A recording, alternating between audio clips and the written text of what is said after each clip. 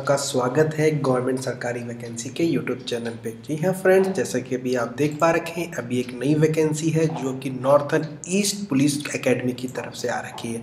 जी हाँ फ्रेंड्स इसके अंदर एमटीएस आपकी गार्ड और आपके कांस्टेबल की मिला के तीनों की सही तैंतीस पोस्टों के ऊपर वैकेंसी आ रही है। फ्रेंड इसमें कोई आवेदन शुल्क नहीं लगने वाला है और नॉर्थ ईस्टर्न की है तो फ्रेंड्स आपको मैं चीज़ बता देता हूँ, इसके अंदर काफ़ी इतना हार्ड पेपर भी नहीं आता है।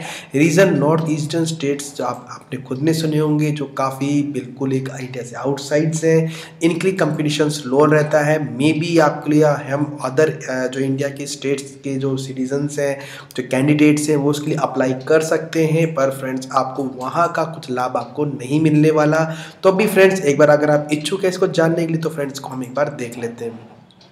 जैसे कि फ्रेंड्स आप देख सकते हैं नेपा कांस्टेबल रिक्रूटमेंट जारी हो चुका है। 19 है मेघालय इसकी लोकेशन रहने वाली है। और फ्रेंड 19 दिसंबर इसकी लास्ट डेट रहेगी। क्वालिफिकेशन इन्होंने टेंथ क्लास आपकी मांग रखी है। कौन कौन सी पोस्ट आने वाली? एम कुक है मल्ची है वाटर कैरियर है और ऑपरेटर है।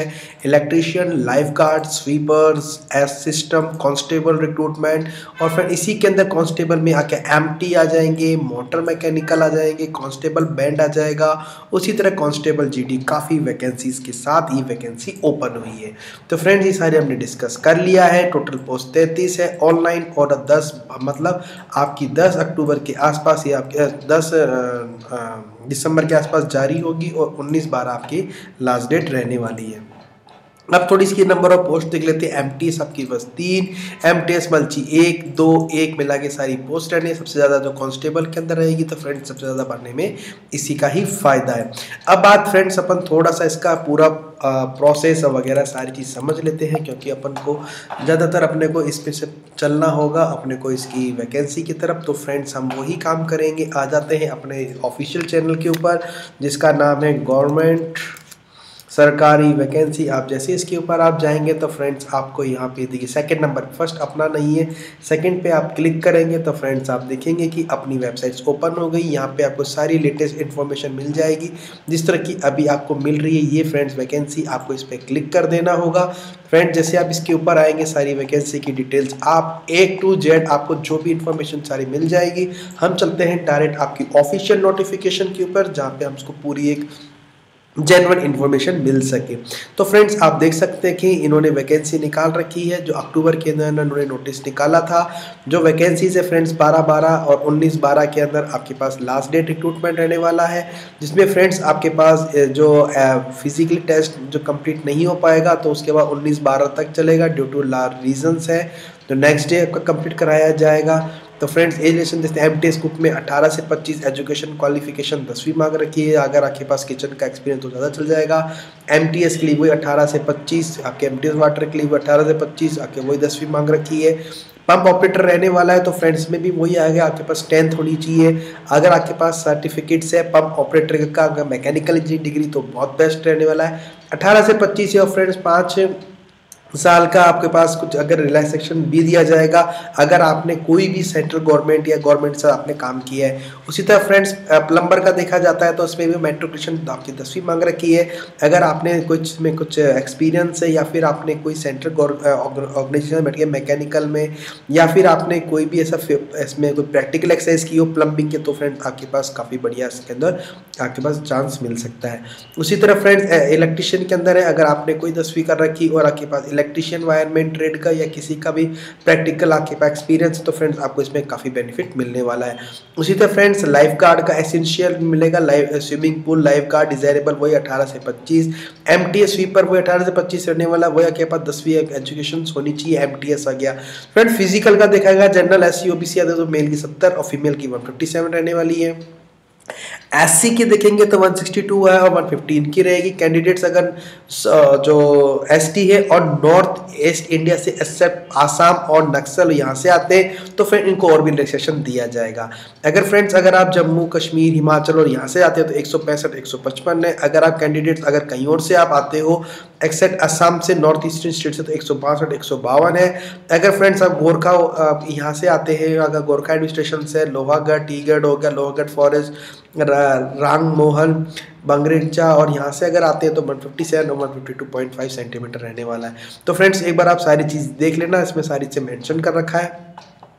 अब फ्रेंड्स, बात आती है कांस्टेबल्स की। अगर आप कांस्टेबल मोटर ट्रांसपोर्ट मैकेनिक के जाते हैं, वो अठारह सत्ताईस ही होगा। फ्रेंड्स अगर आपके पास दिन में उन्होंने दो साल का एक्सपीरियंस मांग रखा है और आपके पास एक क्वालिफाइड करना पड़ेगा ट्रेड का टेस्ट उसी तरह फ्रेंड बैंड का है, वही दसवीं चाहिए, पर आपके पास कोई गाना है, आपको बैंड पे बजाना आना चाहिए। फ्रेंड्स उनकी वही सेम आपके फ़िज़िकल स्टैंडर्ड रहने वाला एक बार आप बिल्कुल लेकर देख लेना। अदर इसमें कंडीशन उन्होंने रखी एज लिमिट इनकी होनी चाहिए बारह बारह, दो हज़ार बाईस को आप एटलीस्ट इसके ऊपर आप मिनिमम आपके पास सत्ताईस साल से कम होने चाहिए, आप वो, आप इसके अकॉर्डिंग अपनी जो एज देख लेना। अगर आप O B C S T है तो आपके पास रिलैक्सेशन दिया जाएगा। नेम ऑफ़ पोस्ट आपको थोड़ी सी और बता देता हूँ, जहाँ की फ़िज़िकल होने वाला है। जैसे constable GD band MT motor MT और एमटी मोटर ट्रांसपोर्ट मैकेनिक वालों का इनका ज़रूर रनिंग होगी। 1600 मीटर, जिनको छः मिनट में करना होगा फीमेल की भी वही होगी।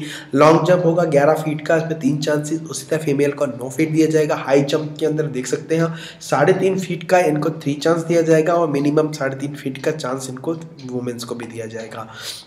अब बात आती फ़िज़िकल स्टैंडर्ड का, आप देख सकते हैं फ्रेंड्स आपके पास फ्लैट फुट नहीं होना चाहिए, कोई वेन और आपके स्लाइट आइज़ नहीं होनी चाहिए, आपका स्टैंडर्ड आई छः बाई छः करेक्ट होनी चाहिए। दूसरी बात फ्रेंड्स आपका रिटर्न एग्ज़ाम चलने वाला समझ, देख सकते हैं जनरल नॉलेज होगी जनरल नॉलेज मैथमेटिक्स रीजनिंग और जनरल साइंस पच्चीस पच्चीस क्वेश्चन आने वाले हैं, सारे मिला के दो घंटे का, एक सौ बीस मिनट का पेपर होगा। तो फ्रेंड इसके अंदर आप थोड़ा सा इसके अंदर देख लेते हैं, अगर उन्हें टेस्ट इनके कुछ आपके ट्रेड टेस्ट भी होंगे। और फ्रेंड्स दूसरी अगर उसमें कोई नेगेटिव मार्किंग नहीं होने वाली है, आपको बॉल पेन से आंसर शीट लिखनी पड़ेगी क्वेश्चन पेपर आपका हिंदी इंग्लिश दोनों में आएगा। फाइनल मेरिट होने के बाद ही आपको ट्रेड टेस्ट के लिए बुलाया जाएगा। तो फ्रेंड सबसे पहले आपका रिटर्न टेस्ट ही इन्होंने कंडक्ट कराना है। ट्रेड टेस्ट में फ्रेंड्स आप जान सकते हो, अपना प्रैक्टिकल नॉलेज दिए जो इलेक्ट्रिशियन होगा इलेक्ट्रिशियन के लिए देगा लाइफ गार्ड होगा लाइफ गार्ड के लिए प्लम्बर पंप के लिए।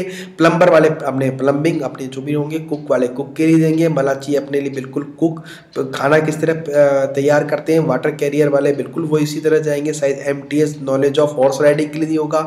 स्वीपर के लिए हमको बिल्कुल किस तरह आप सफ़ाई करते हैं कॉन्स्टेबल मैकेनिक्स उसके लिए हो जाएगा कॉन्स्टेबल एम सारे आपके चलने वाले। फ्रेंड्स सिलेबस का थोड़ा सा देखते हैं जनरल अवेयरनेस आपको बिल्कुल अपने स्पोर्ट्स, करंट अफेयर, आपके जो साइंटिस्ट एक्टिविटीज़ हुई हैं ज्योग्राफी आपकी हिस्ट्री वगैरह, आपको सारे क्वेश्चन देखने पड़ेंगे। नॉलेज ऑफ़ एलिमेंट्री मैथमेटिक्स वही आपकी fundamental number series whole number decimals fractions relationship fundamental arithmetic operation percentage ratio proportional average interest profit and loss account ये सारे आपको को आपको आने चाहिए।